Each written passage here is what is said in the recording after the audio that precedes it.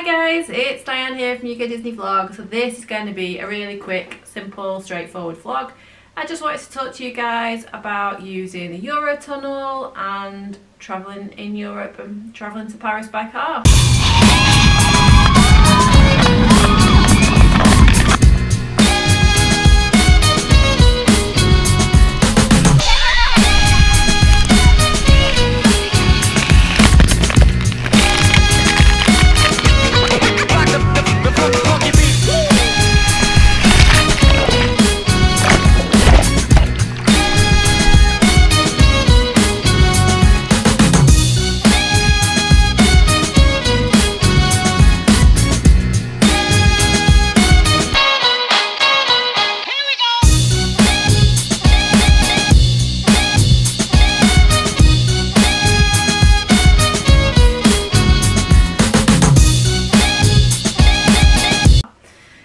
Decided to take the car down to Disneyland Paris. Um, it was the cheapest option for us at the time.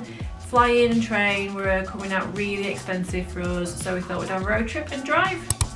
So there's a few things you really need to consider before driving in Europe. Um, I would highly, excuse me, highly, highly recommend buying a book on European driving. So this is a European Driver's Handbook. It's from the AA.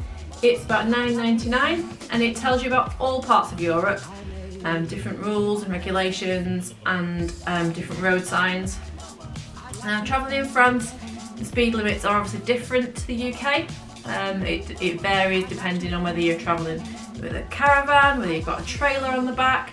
It also is changeable due to the weather, so if it starts raining, the speed limits will change. So this book is really good it tells you about all the changes and about the different speed limits. I mean, they are available on the sides of the roads as well, so you don't have to memorise them, but it's a really good idea to know how fast you can go and whether it works in miles or kilometres per hour.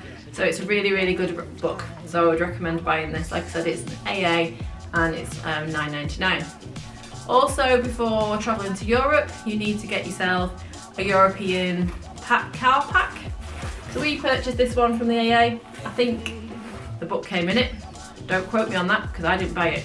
The kits themselves, you can get them from Argos, Halfords, um, Amazon. They range from about £25 to about £35 and it's got all the stuff you need in it for travelling and driving through Europe. Now what I didn't realise before we travelled is that you'd need this and need some of the stuff in it. So obviously you need a high-vis jacket, which must be kept in the car with you for the driver. You need a breathalyzer kit. So you must have it must travel with a breathalyzer kit.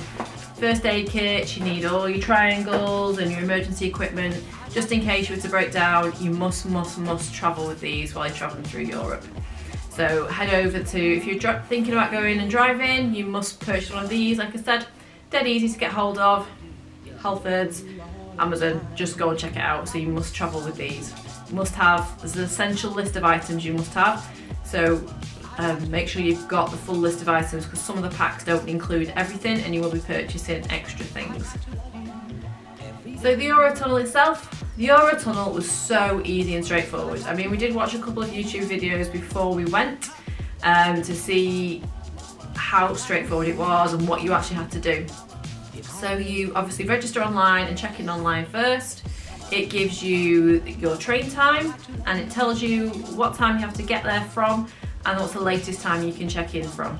Um, it's so straightforward, easily signposted. It tells you like cars and oversized vehicles in one direction, um, lorries in one direction, obviously cars in a different direction altogether. Um, you drive up to the booth, you type in your reference number and then it comes up with all your details.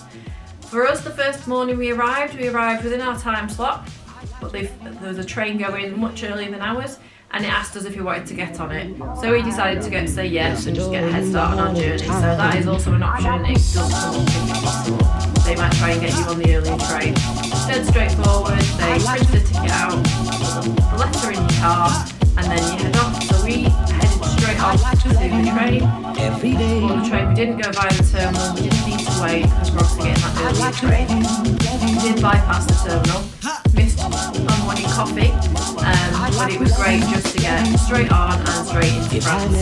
Um, the Eurotunnel itself, getting on is really easy. Kind of into lanes, you just slow it half down. There are people there to tell you what to do, how to drive onto it.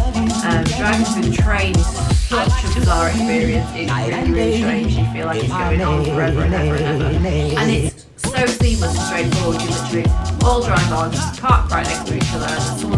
You on, and as you're all on the door's shut and gone, there's no waiting around. There's no, never any delays us, and it was so straightforward. The crossing itself, really simple, really quick, really efficient. I couldn't recommend it enough, especially if you live close to the Eurotunnel. Um, driving is just a, quite a simple option. I mean, for us, it's a massive trek from Manchester all the way down to Folkestone and then travelling from Folkestone to Disneyland Paris. We did it in one day on the way home and we were absolutely exhausted. But if you lived right by the coast, it's such a fantastic option and such a good option and dead straightforward and dead easy to use. Thanks for watching. Um, I hope this video has provided a few sort of hints and tips of what to do for travelling on the Eurotunnel. If you've got any questions um, or comments, leave them in the box down below. Um, don't forget to hit that like and subscribe button. Um, and thanks for watching. Bye.